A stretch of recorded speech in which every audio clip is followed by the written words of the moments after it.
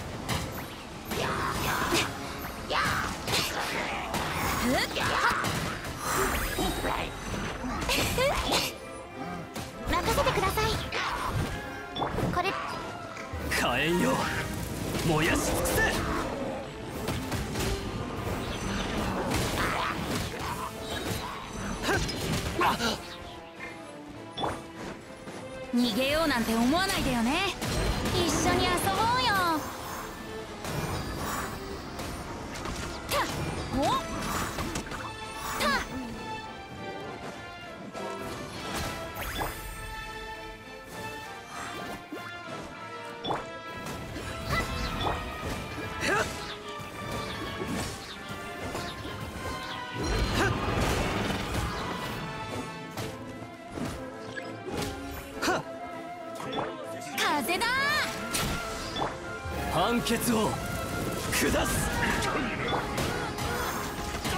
はあ？足元に気をつけて。話が通じないなら。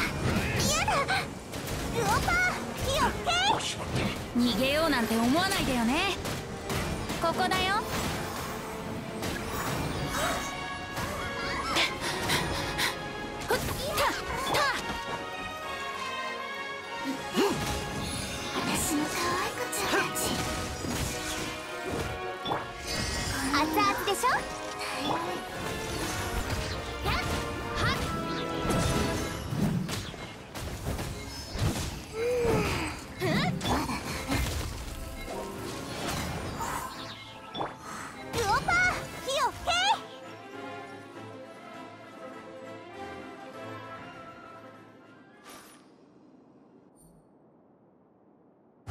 風を知れ。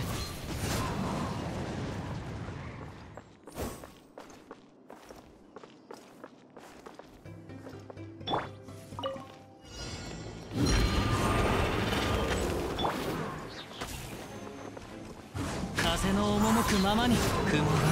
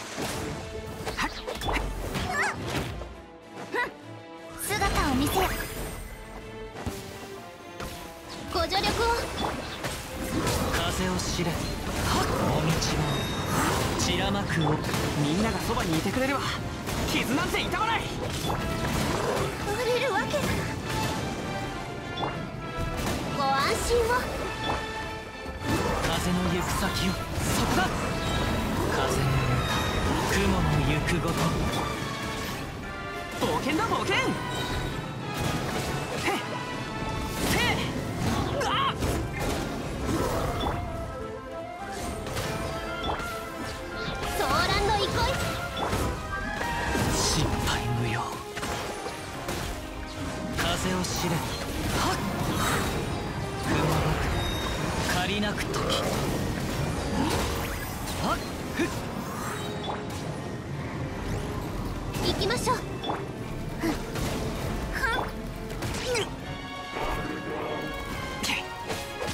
全力こお道は散らなく惜しみ断罪の名において。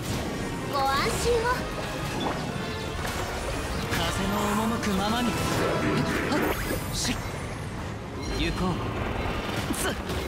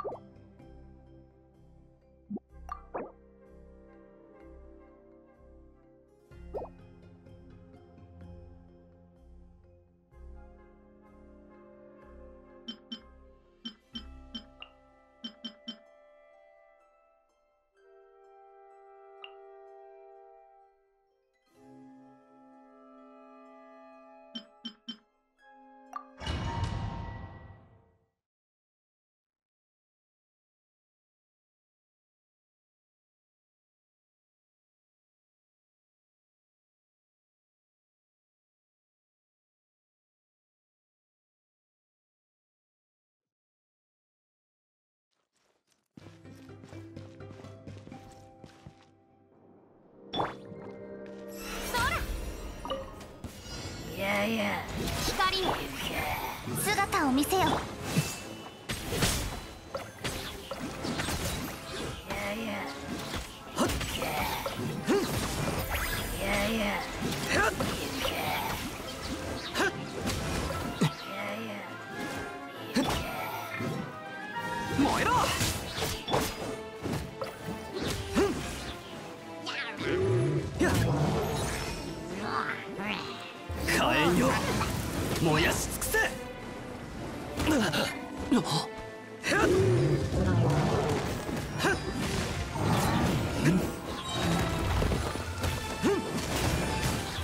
決を下す。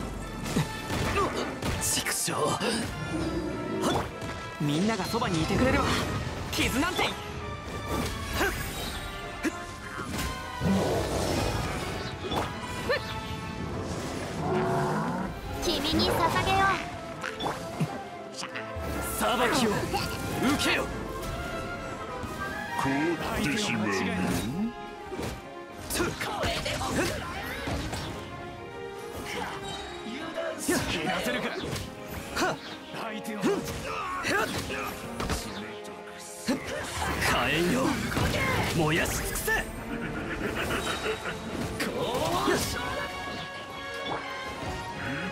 燃えろ。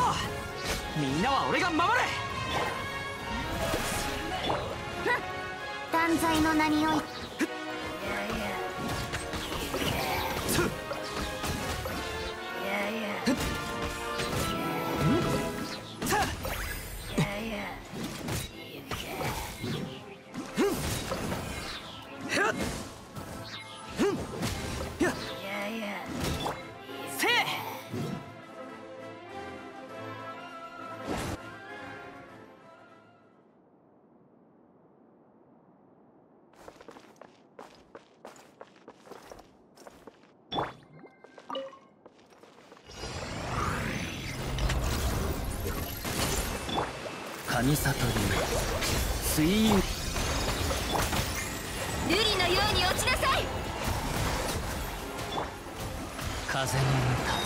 雲の行くごと。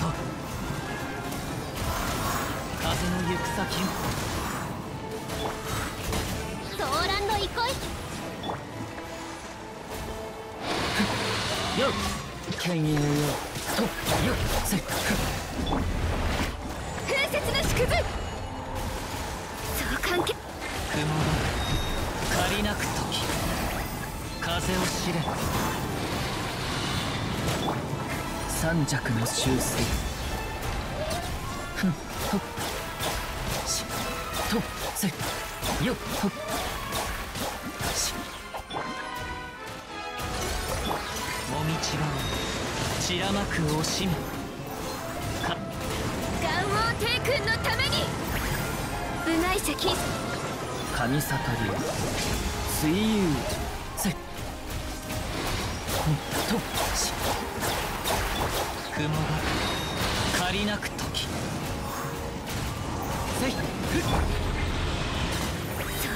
しょ瑠璃のように落ちなさい。総流水泳三尺の修正。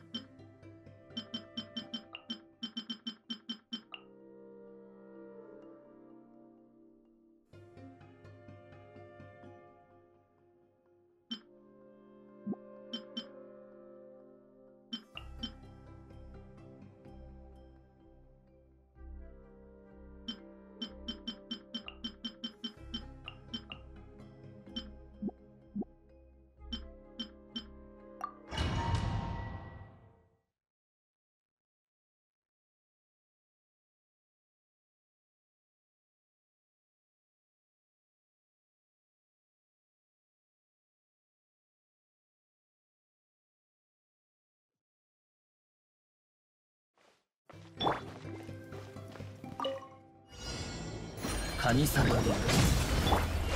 風雪の縮図創世の風よやっはっはっ冥王牽制酒この仕事は排除するべきです安らかに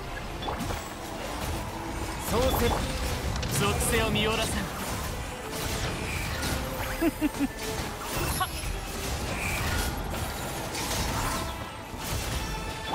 異形を見届けよ。酒次の種瑠璃のように落ちなさい。三尺の修正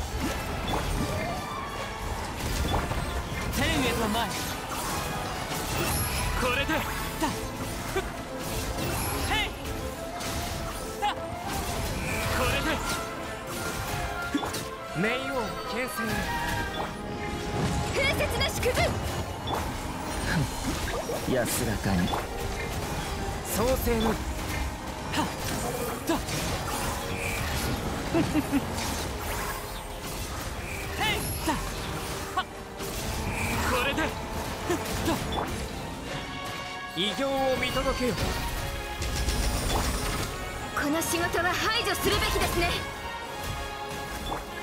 三尺の修正。風よ。へい。や。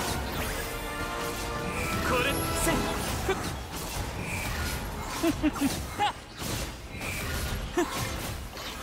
冥王牽制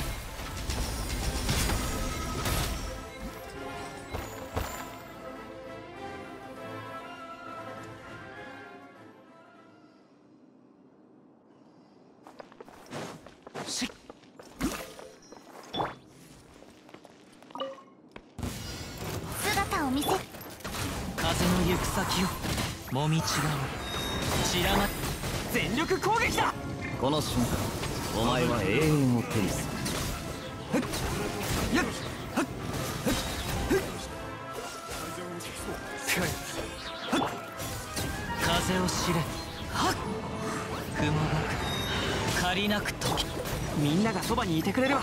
風邪ひくなよ。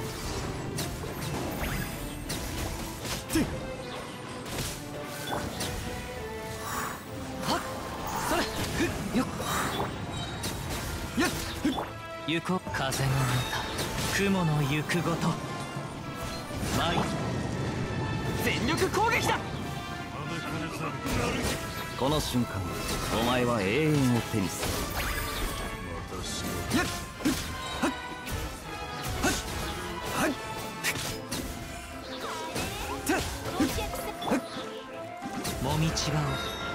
らまく惜しみ。風の赴くまみんながそばにいてくれるわすまんすまん。断罪の名において。そこだ。雲がく借りなく時。ねみんなは俺が。この瞬間お前は永遠を手にする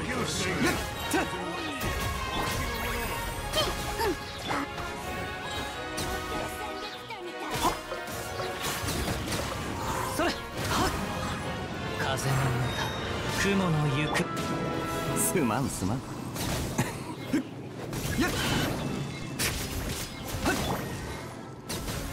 全力攻撃だ！しっ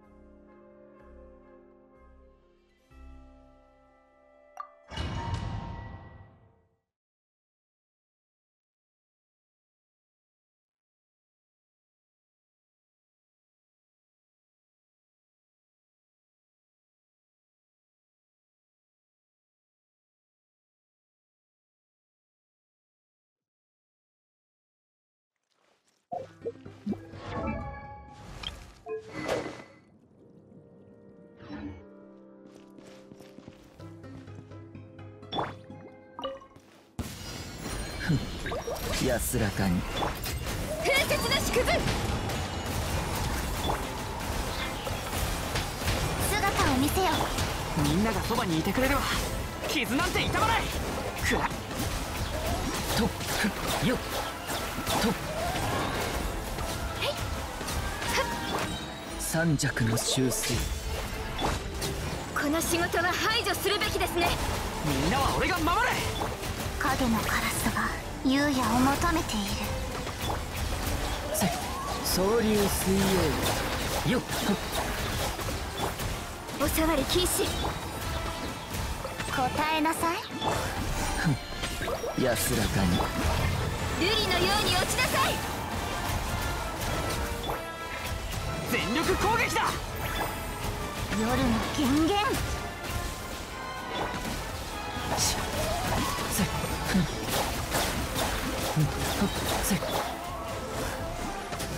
部外者禁止三弱の修正岩王帝君のために。みんながそばにいてくれるわ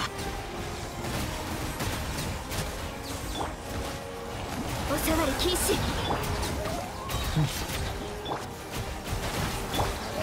と神里流水この仕事は排除するべきですね。部外者影のカラスが優也を求めている。全力攻撃だ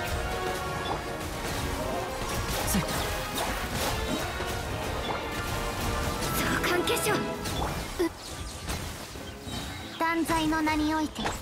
三弱の修正瑠璃のように落ちなさい。みんなは俺が守る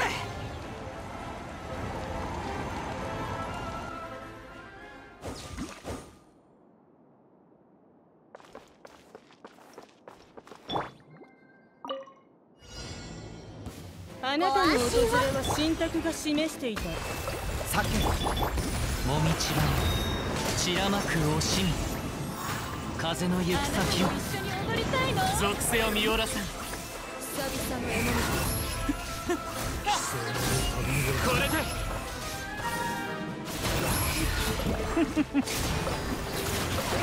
雑魚ども。疑似妖か今が参上の時。雲が借りなく時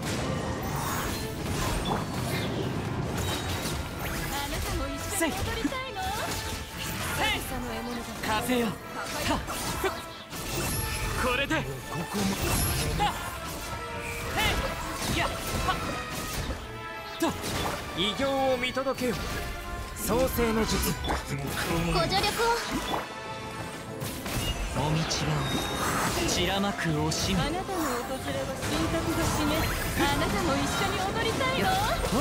一緒に踊りましょう。久々の獲物だ。疑似妖か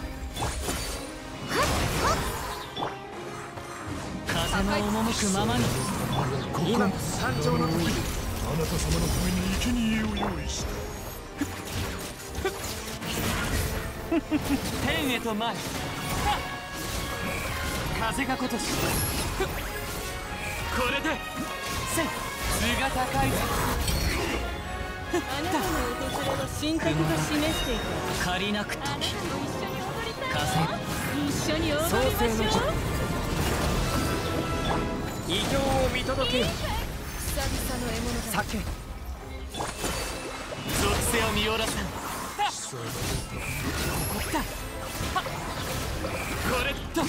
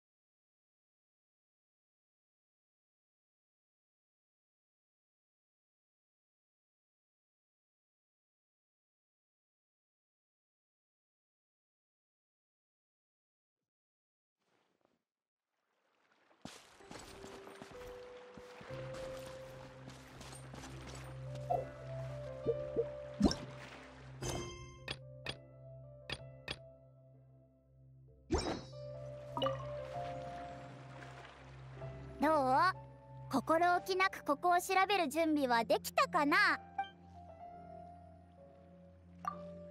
よしじゃあ出発しよう。これまで配達でいろいろな場所に行ったけどこんなに不思議な童話の世界は初めてだよ。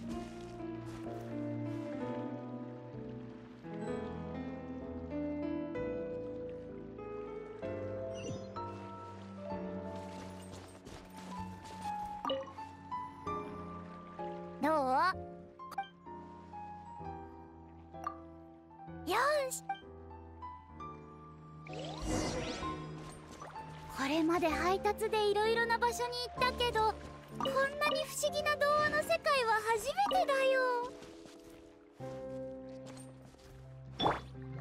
ソーランド行き修理が間に合わなかった家か。はーい。私でさえ中で寝る気にはなれないよ。崩れ落ちてきたら大変だもん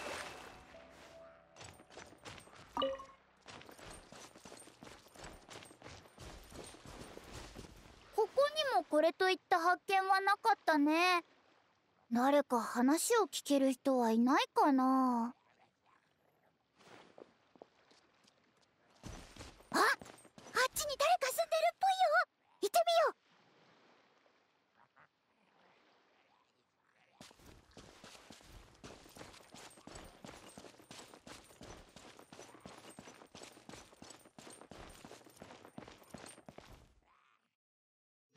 う。あれ？ここに誰かいると思ったのに。かつて運命を司る女神がいた。この地を去る時彼女は自ら作った王国に3つの謎を残した。えだ誰だ？とにかくそこに今人の話がわかる猫と異邦人。そしてえー、っと一匹の精霊がやってきた一行はあちらの小道の方を眺めた。あちらってどっちだよ？コマニアにそんな宛先の荷物が届いたら集配のお姉さんが送り返して住所を書き直させるよ。明確に示したつもりだがどうやら精霊と猫は疑問を抱いたようだ。まあ私のこの無味乾燥なナレーションにも1割ぐらいは責任があるかもしれない。ではもう一度やり直そう。うん。左手の小道には魅力的な香りが漂いその先には財宝と栄光が待っている。あーなんだか素敵な物語が始まりそうな予感。それからそれから。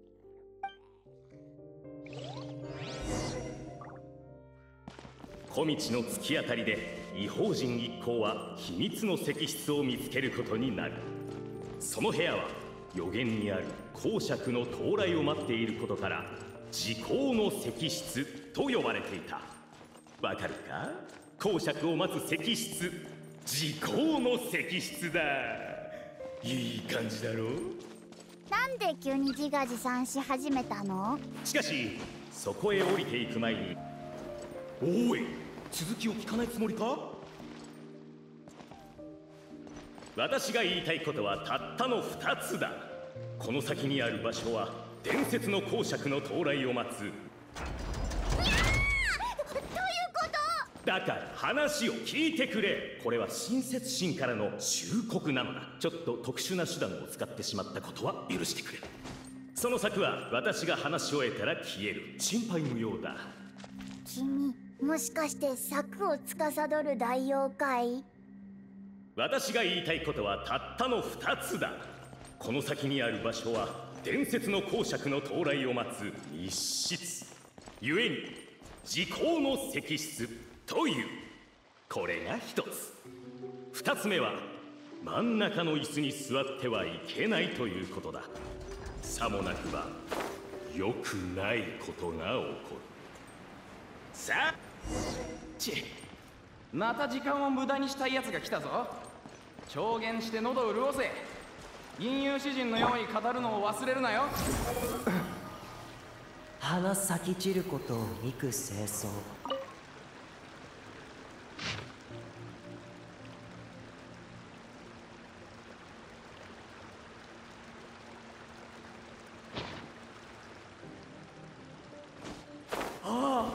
天井にとどまりし太陽のごとく卓上の手紙。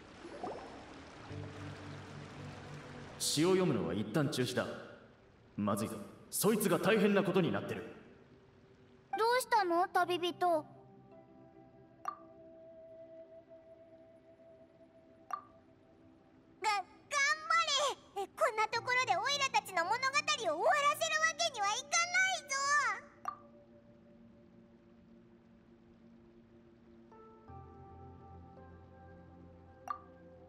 私の手を貸そうか？尻尾を掴んでもいいよ。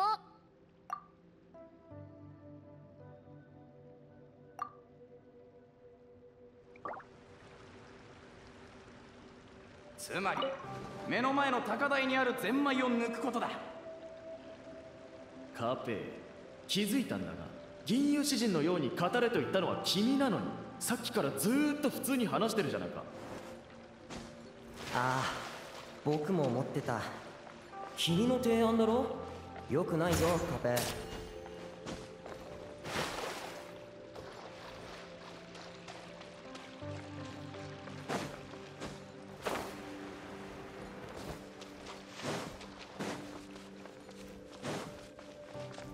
遅い。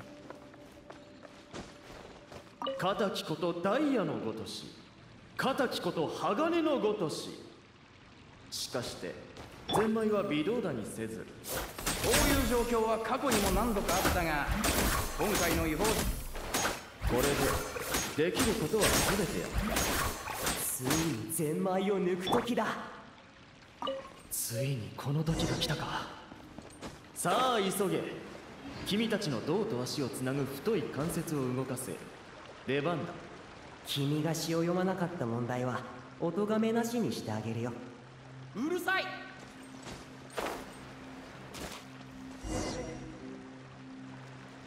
おお尊く高貴な違法人や。どうか自己紹介をさせてくれ。我らはこの地の三大ファミリーがそれぞれ選んだ。正しき歴史の監督者。ゼンマイを抜くことができる。君のようなものを待っていたのだ。俺の名は。君はカペ彼はオービック。あとそっちはポポラーノでしょ？さっきからずっと君たちの話を耳にしてたから声を聞くだけで誰だか分かっちゃったよ。でももう一人いるはずだよな。ほらオイラたちを鉱山まで導いたやつが。誰のことだ？こうして真の歴史を紐解く伝説の人物がここに集結した。うんここは引用させてもらおう。あっはんオルビット上の歴史がまた1ページ。あこの人だよ。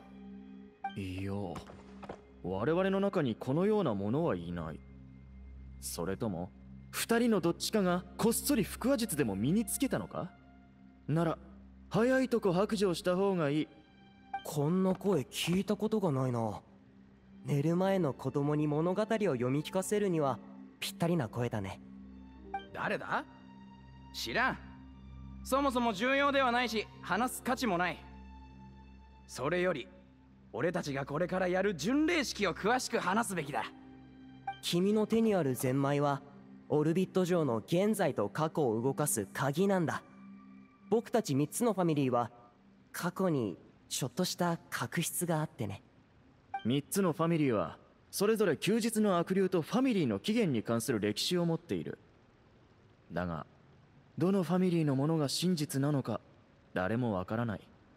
悪いやあいつではないよ。可愛らしい精霊。休日の悪霊というのははるか昔に討伐された悪霊のことだ。最近現れた奴は俺たちファミリーの歴史とは関係ない。竜えー、っとこれってお芝居か何かじゃないよね。つまり君た究明するだけでなく口論も絶えなかった。私はあまり気にしていないがカペーがずーっとちょっかいを出してきてな。過去に悪霊の災いを鎮めたのはどのファミリーなのか。それが明らかになれば最も尊きファミリーを決めることができる。ゼンマイを抜いた瞬間からあなたは名誉公爵となった。どうか俺たちの願いを聞いてくれないか。高貴なる異邦人よ。高貴なる旅人公爵よ。そちらの長靴を履いた人語を話す猫と空を飛ぶ白い精霊と共に力を貸してくれないか。私は猫じゃないって。あーいや化け猫呼ばわりよりマシだけど。まあまあここは流れに合わせてくれ普通の猫は長靴も履かないし言葉も話せないだろ。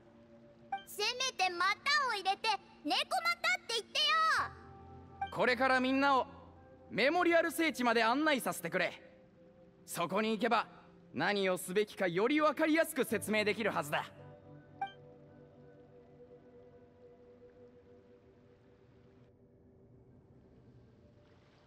ここが俺のファミリーの聖地だ先祖はかつてここで武勇と果敢なる決断力を持って休日の悪竜と戦ったんだ。その死闘は昼も夜も関係なく幾日も続いた。そしてついに悪竜を打ち果たしたんだ。まああくまで伝説だ。待て。今君のファミリーの歴史は伝説に過ぎないと認めたな。歴史か伝説かは重要じゃない。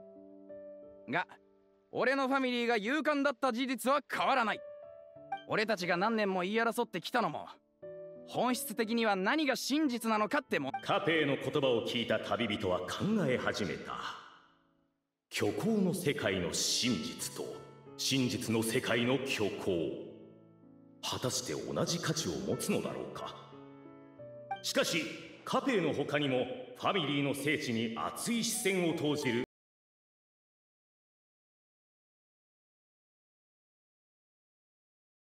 猫又は彼らに目に物を見せてやることにした。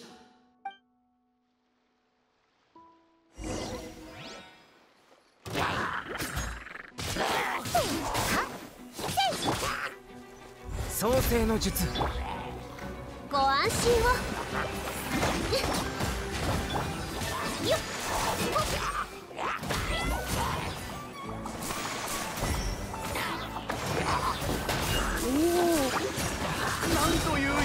勇敢な姿。まるで俺の先祖たちの英霊が取り付いたかのようだ。それはちょっと違うな。旅人公爵の方が君の先祖より何枚も上手だろう。お前のその言い方からしてつまり俺のファミあなたの武芸と勇敢さは実に素晴らしい。俺の先祖の偉業をこの時代の感覚に合わせて解釈したものになってる。さて本題といこう。知っての通り時間とは一種の錯覚に過ぎない。時には1行の単位で。時には1ページの単位で。また時には1コマの単位で運行している。だが一番多いのはゼンマイと歯車の歯一つ一つの単位からなるものだ。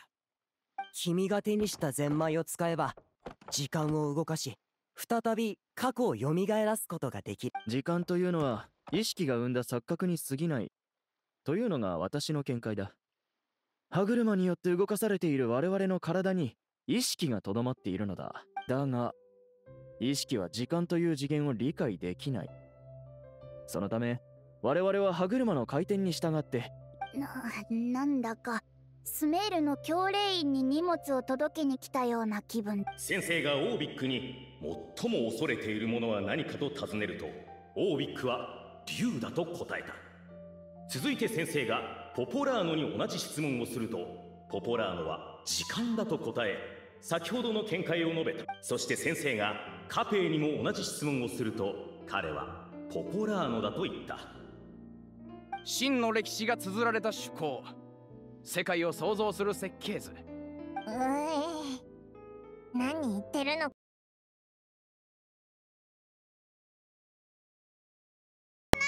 その通りだ始まりの時創世の女神はうよって偉大なるゼンマイでこの辺りの時間を最初へと戻っちょっと待ってよ。